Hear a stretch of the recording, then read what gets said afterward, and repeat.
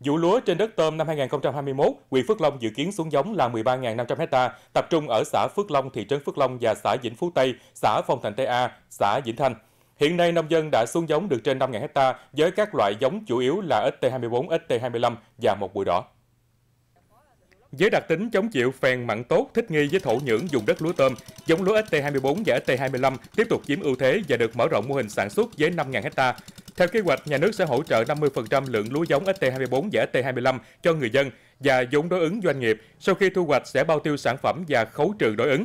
Hiện nay, Phòng Nông nghiệp huyện đang phối hợp với các xã thị trấn để nhanh tiến độ cấp giống lúa ST24, ST25 cho nông dân trong mô hình, đảm bảo tiến độ xuống giống của nông dân theo lịch thời vụ ngành chuyên môn khuyến cáo.